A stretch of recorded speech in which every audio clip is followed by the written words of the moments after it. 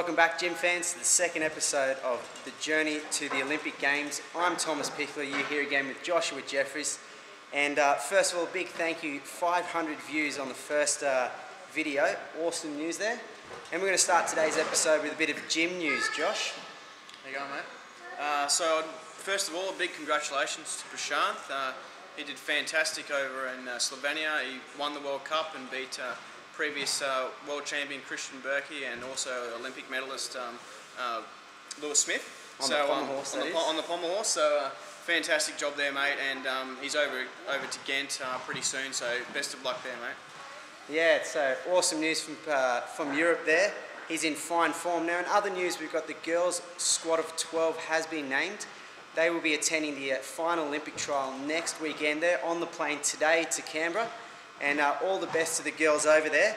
Uh, big, uh, a, a big props must be sent out to Ashley Brennan, who did an awesome job at the national championships recently, winning the uh, all-round championships there. And I guess Lauren Mitchell, big shout out to her. Massive crowds came out to, to watch her and support her. So that was good to see so many gym fans there as well. Now, in the week that was, Josh, anything exciting happened there with you? Uh, just uh, just the usual training, mate, um, this week, and yeah, just the usual uh, strength and, and fitness stretching training in the morning, uh, and then just working on combinations and skills and trying to work on quality and just fixing up a few little um, problem areas as well. So just yeah, just trying to get those skills together and, and close to perfect as, as I can. So.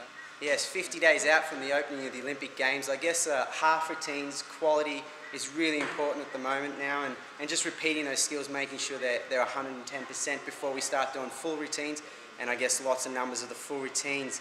Now, I, I saw your mug on telly this week. Uh, Rob Hazer from Channel 10 came out and he, he made sure that uh, Josh was all over the TV and it was a great job. That aired on Monday, that just passed. So if you missed that interview, head to the appearances page at www.thomaspichler.com.au to see that. Also, we had an interview yesterday.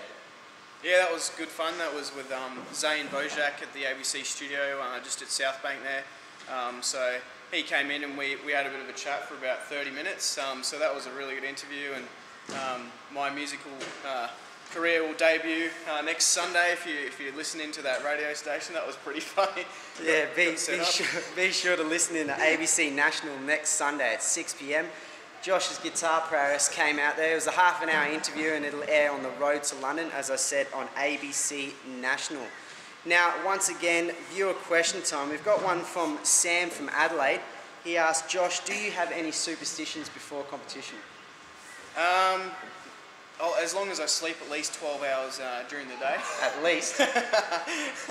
Uh, and uh, yeah, I just like to get the hair and makeup all, all sorted out and nice, uh, freshly laid out leotard and some, some spare undies for the comp. And uh, yeah, that's, that's about it really. Yeah, we had another question come in from John from Brisbane. I guess you just answered it then. Is it true that you would take a spare pair of undies to competition?